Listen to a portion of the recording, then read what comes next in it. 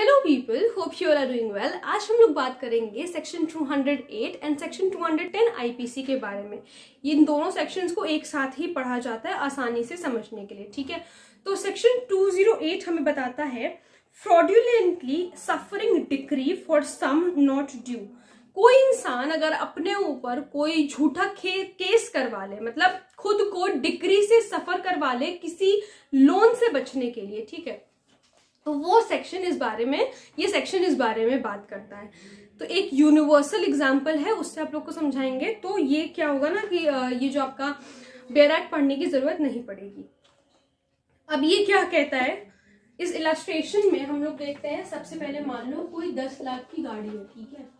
या चलो मान लो बीस लाख की गाड़ी है। कोई बीस लाख की गाड़ी है, किसी ये ओन करता है, मिस्टर ए। ए ने ये गाड़ी ओन करी हुई है। लोन लिया हुआ है, ठीक है, बीस लाख का लोन लिया हुआ है। किसी भी पी क्यू आर बैंक से।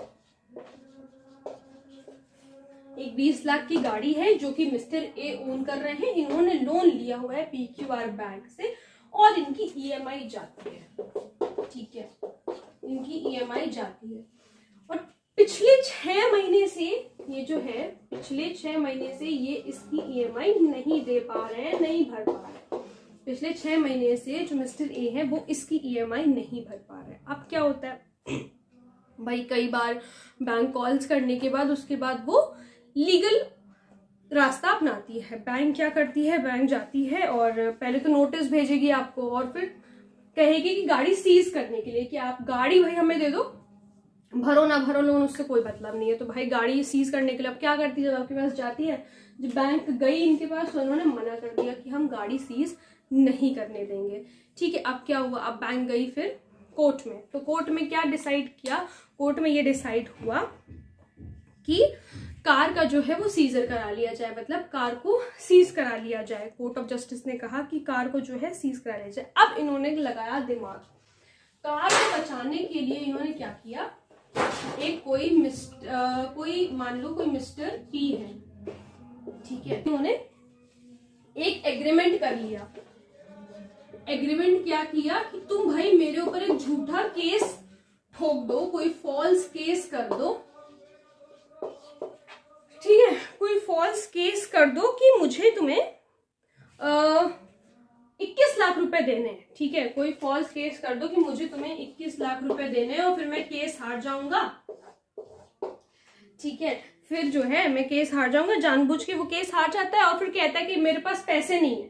जानबूझ के मिस्टर ए जो है, वो केस हार गया। थोड़ा सा कंफ्यूजिंग है थोड़ा सा लेकिन आसानी से समझ में आएगा। फिर से एक बार सुन लो।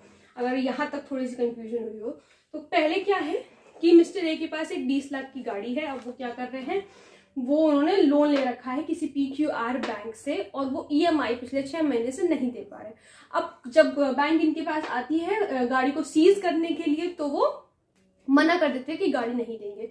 फिर उसके बाद बैंक जब लीगली जाती है, जब सारा लीगल प्रोसीजर होता है तो कोर्ट ऑफ़ जस्टिस कहते हैं कि गाड़ी का सीजर कर लिया जाए। वो भी नहीं हो पाता है जब ये सब चीज़ें हो रही होती है तो ये मिस्टर ए थोड़ा सा दिमाग लगाते हैं और क्या करते हैं मिस्टर पी का मिस्टर पी से एग्रीमेंट करते हैं। एग्रीमेंट क्या करते हैं? एक फॉल्स केस अपने ऊपर करा लेते हैं।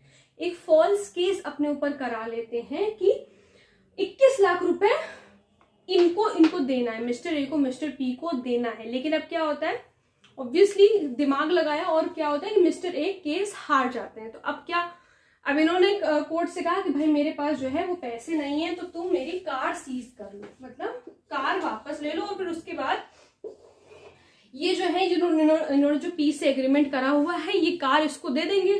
ठीक है, मान लो कार, पहले तो कोर्ट को दिखाने के लिए कार दे दी, फिर उसके बाद वापस ले लेंगे कार, या, और फिर कुछ पैसा आपस में लेन देन करके इनका सारा काम निपट जाएगा। तो इनके हिसाब से कार इनकी हो जाएगी। अगर आप फिर से अपनी हेडिंग पे आते हैं सफरिंग डिक्री अब यहाँ पर जो सफरिंग डिक्री इन्होंने जानबूझ के अपने ऊपर एक फॉल्स केस लगाया, और ये सफरिंग एक डिक्री सफ़र कर रहे हैं अपने ऊपर, इस केस के लिए। ये जो फॉल्स केस हुआ है, इस केस के लिए ये अपने ऊपर एक डिग्री सफ़र कर रहे हैं। इस ये जो एक कॉन्स्पिरसी टाइप की हुई है, इनके बीच में ये जो फालतू की बात हुई है, ये जो एक साठ गांठ हुई है, इसी चीज़ की सजा मिलती है इस सेक्शन के अंदर।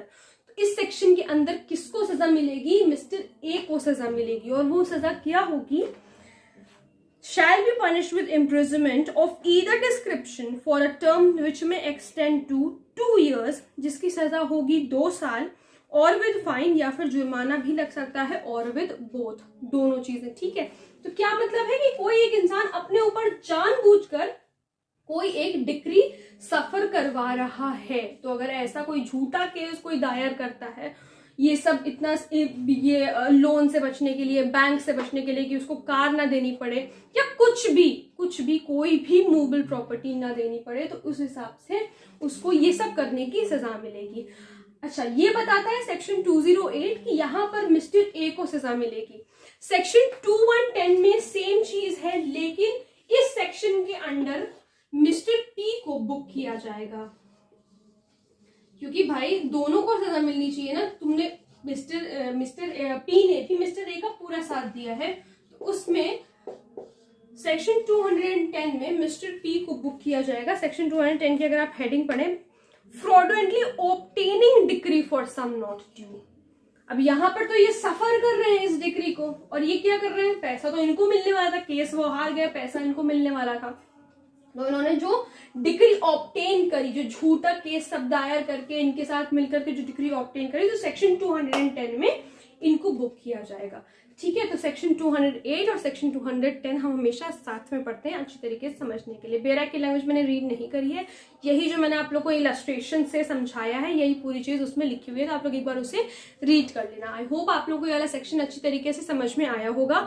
अगर कोई प्रॉब्लम है तो please let me know in the comment section और अगर आप लोग इस टॉपिक पे वीडियो देखना चाहते हैं तो वो भी प्लीज़ मुझे ज़रूर बताइएगा। Thank you so much